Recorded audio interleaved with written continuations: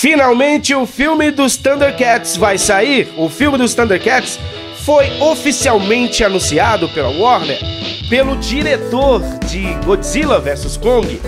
Mas o que você não sabe é que o filme dos Thundercats não vai ser do jeito que você estava pensando.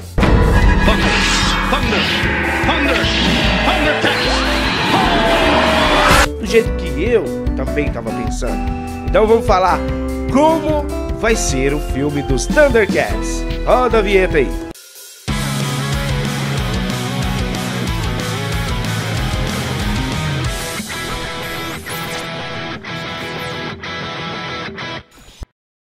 Thunder. Thunder! Thundercats!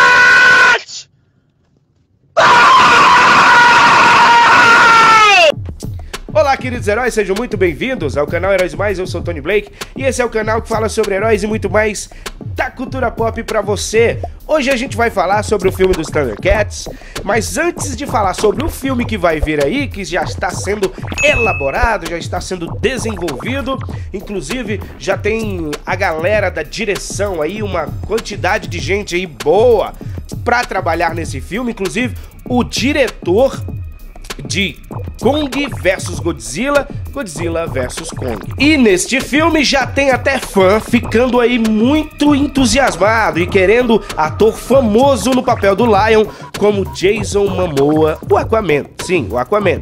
O Conan. Olha aí ele na foto do Conan, como que ficaria o Jason Momoa aí como Lion em Thundercats. Bom, mas o filme não será exatamente como você ou como eu estava pensando, cara. Como nós estávamos pensando. Filmes com pessoas é, bem caracterizados, filmes com gente normal. Então, antes de falar sobre como vai ser o filme, vamos lembrar como Thundercats, como os filhos de Tandera fizeram tanto sucesso. Thundercats, o desenho original chegou à TV em 1985, contando a história dos alienígenas que têm características felinas. Não é característica de gato apenas, cara, são características felinas, ok? Um leão, um leopardo e por aí vai. Após da destruição do seu planeta, eles terminam refugiados no planeta Terra. Liderados por Lion, eles constroem uma fortaleza no planeta Terra tecnologicamente avançada. Mas entram em choque com os planos do famigerado e malvadão Munra, o de vida eterna. Thundercats, na época, fazia um paralelo ali também com o He-Man, com sucesso mas Thundercats é muito diferente do He-Man, principalmente no seu estilo de animação. Thundercats tem uma mistura com animações japonesas. Isso porque foi também desenvolvida em um estúdio japonês. Por isso ficou assim tão sensacional e tão diferente. A abertura dos Thundercats é fantástica, cara. Você deve lembrar muito bem, você aí que tem mais de 35 anos, deve lembrar muito bem que quando passava na TV, Thundercats era a, todo mundo queria assistir logo no início, porque queria assistir e não perder de jeito nenhum aquela abertura sensacional. Vou colocar um pedacinho aí para você ver.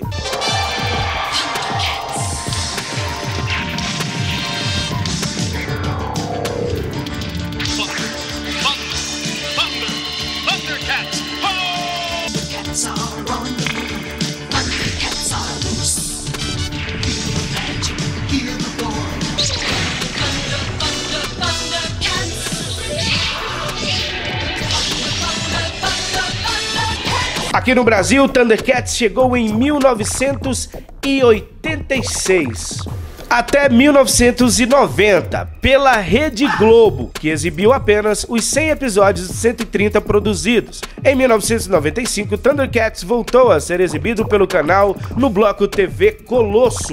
Nesse momento também, ao mesmo tempo, estava sendo exibido pela Warner Channel e pelo canal Cartoon Network. Em 2001, o Thundercats foi para o SBT, no Bom Dia e Companhia.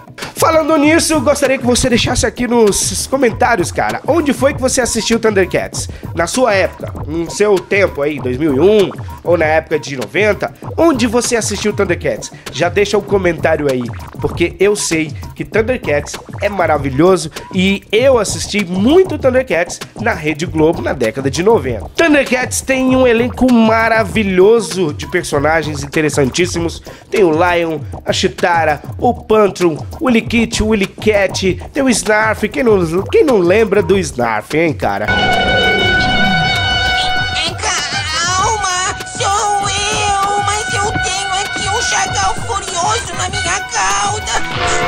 Nós temos também o Tiger. Na parte dos vilões tem o Munhar, tem todos aqueles mutantes, é, os lacaios de Munhar, e por aí vai. Aí vem eles. Então, Thundercats, desde muito tempo, a galera tá pedindo um filme, né? Poxa, caras, tem. Fizeram um filme do Senhor dos Anéis. Tiraram de um livro e fizeram um filme fantástico, né? Aliás, uma trilogia fantástica. Fizeram Hobbit também, outra trilogia fantástica. E outros inúmeros filmes por que não fazer o filme dos Thundercats? Bom, Tony, então chegou a hora, né? Então vai vir os Thundercats. Chegou o Thundercats, já tem diretor. O diretor Adam Wingard é o cara que vai fazer os Thundercats aí. Ele já declarou que é fãzaço do Thundercats desde criança. Ele disse: não tem ninguém que conhece mais de Thundercats do que eu. Olha, olha esse cara, olha só a presunção desse cara. E a ideia desse cara é fazer um filme híbrido, mistura de pessoas com animação. Aí você me pergunta, Tony, como assim, cara? Como assim mistura de pessoas com animação? Não, não dá simplesmente para fazer uma maquiagem aí? Cara, igual Cats? Calma aí. Igual Cats não ia ficar legal, né? Não! Porque aquele filme foi horrível. Foi horrível. Maquiagem também horrível. É, ele falou isso, que não vai querer algo parecido com Cats. A declaração do Adam Wingard é o seguinte: o longa irá misturar atores reais com animação em computação gráfica e permanecerá fiel ao visual clássico da série animada. O Wingard foi bem específico em um ponto quer evitar look das fantasias de gato do fracasso musical Cats de 2019. Olha só o que ele falou aqui, galera. Abre aspas, Adam Winger disse: Quero que se pareçam com Thundercats. Não quero que pareça com Cats. Não quero esse tipo de problema. Um filme CGI híbrido que tem uma aparência hiperreal e de alguma forma preencha a lacuna entre desenho animado e CGI. Esse é o ponto de partida, afirmou o cineasta. Então, meus amigos, o filme será híbrido. Sabe o Thanos?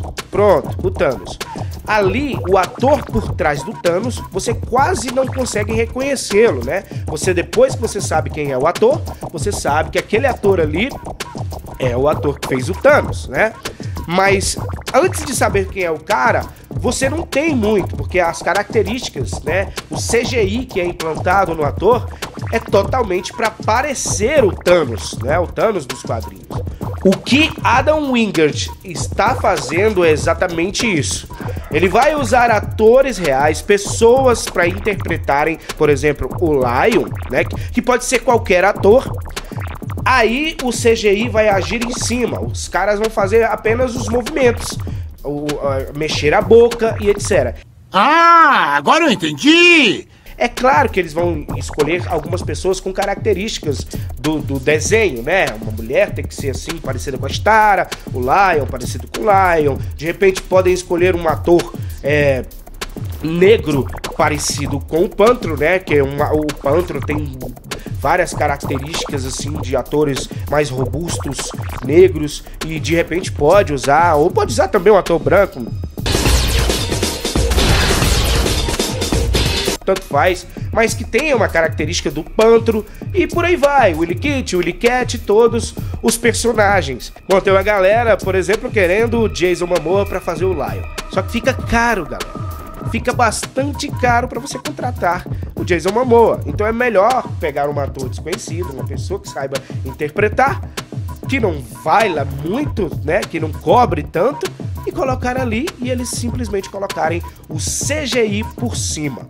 Não tô dizendo que isso vai acontecer, mas que fica muito mais barato na questão do orçamento de atores, fica muito mais barato. Mas lembrando que Adam Wingard é que é, que é o chefe disso daí. É ele que vai comandar. Então, apesar de não ser atores reais, apesar de a gente não, não ver aí um ator muito famoso é, interpretando Lion, Chitara e etc., eu acho, eu acho que pelo CGI que nós temos já da Warner em Godzilla vs Kong, cara, pra mim, eu acho que a gente vai ter um bom filme.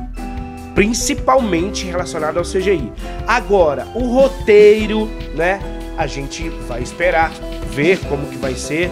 Se eles seguirem um bom roteiro, se eles seguirem a, a animação, o roteiro da animação, fazendo ali algumas adaptações, né? Porque, claro, 130 episódios colocados em um filme só, eu tenho certeza que não vai ser.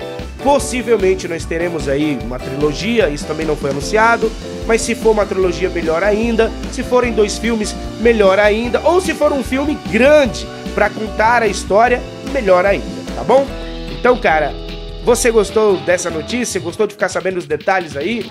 Especulações e, claro, a gente já sabe mais ou menos como é que vai ser, gostou de ficar ciente? Então deixa seu like aqui, cara, não esqueça. Comenta aí o que, que você achou do vídeo e não esquece, cara, você também é um herói e você também é uma heroína e a gente se vê no próximo vídeo. Tchau, tchau.